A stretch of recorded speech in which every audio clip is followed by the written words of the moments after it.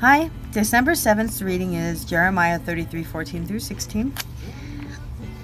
And it says in the Contemporary English Version The Lord said, I made a wonderful promise to Israel and Judah, and the days are coming when I will keep it.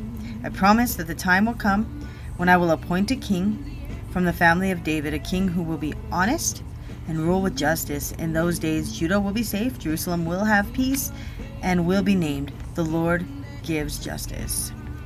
All right, Lord Jesus, we come before you, Lord, and we realize that the whole story of the Bible is a, is a intricate weaving of your redemption and salvation of us and your amazing love for us.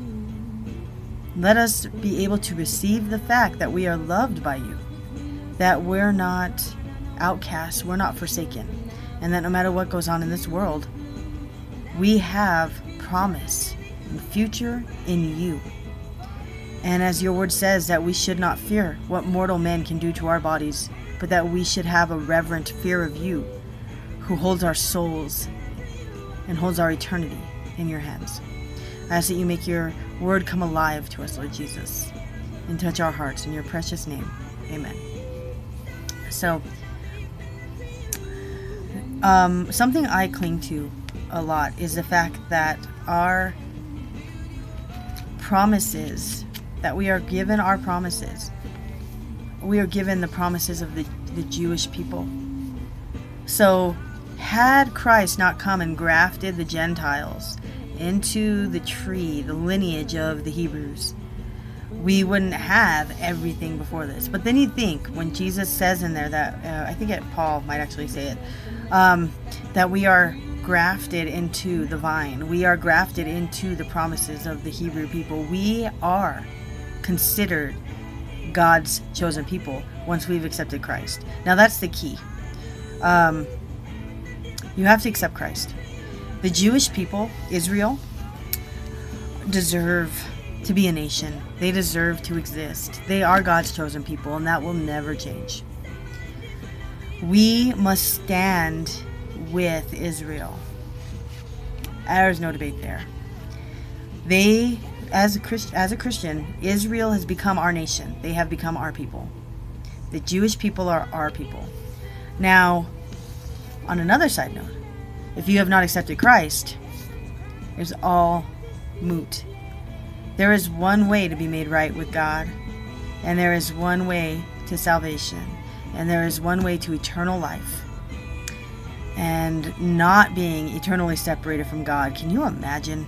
And you really can't, but I'll get into that in a minute. And that way is Jesus Christ. Now, when I said you can't imagine what eternal separation from God feels like, it's because right now, He's everywhere. Everywhere. Romans 1 tells us that God has made his existence so plain and clear in creation that man is without excuse. I really recommend you read Romans 1.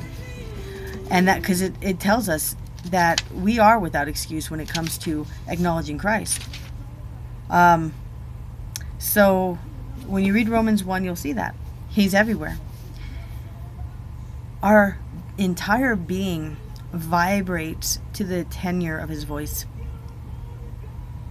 we have no concept. I, I, I can't, I don't have enough time, and I, I can't make it clear enough that we have no concept of what it would feel like to be eternally separated from Him. We have no concept of what it would feel like to be separated from Him. Okay?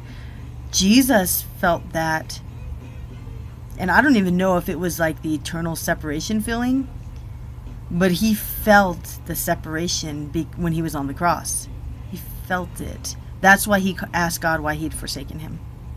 That's why he called that out in his agony.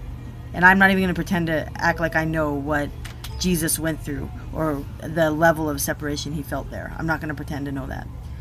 Um, but when you consider that God is literally everywhere, and even those that don't acknowledge him, he's there. He's inside, he's outside, he's everywhere we have no concept of what that would feel like for that to be gone because we've never experienced it. And we won't experience it until the day of judgment when those who rejected Christ are cast away from him. So we'll have no concept. We'll never have a concept. Those in the Lamb's Book of Life will never know that. And it's our desire that no one should. And that's God's desire. That's what John 3 16, 17 says. That none should perish. So, um, tomorrow is, I didn't look up the verse. I know that's horrible. Um, tomorrow is the 8th, and we're looking at Psalm 72, 1 through 7. And um, I'll see you then.